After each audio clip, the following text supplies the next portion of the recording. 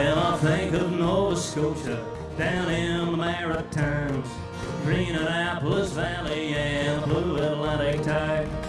Digby and Cape Breton and the shores of Peggy's Cove. When I think of Nova Scotia, I'll think about Hank Snow.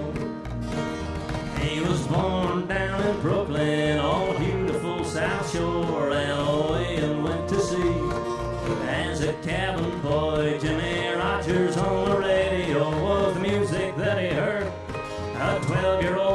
scooter that sailed from Lunenburg.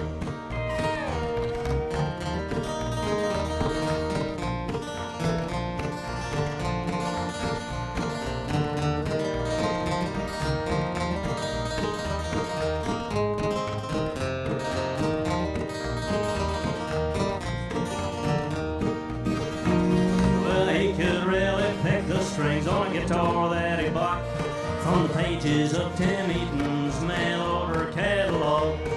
On CHNS Halifax in 1933, he became the yodeling ranger, and the rest is history.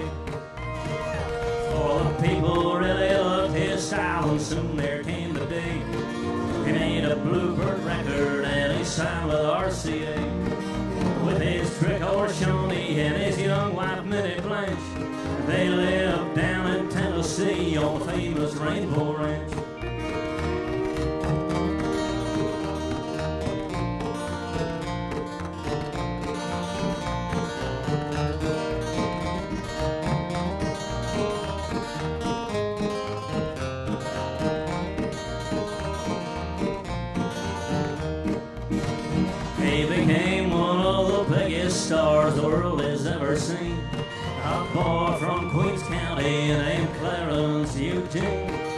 High up on Citadel Hill at noon they fire the gun. And then the songs of country music, it keeps them moving on.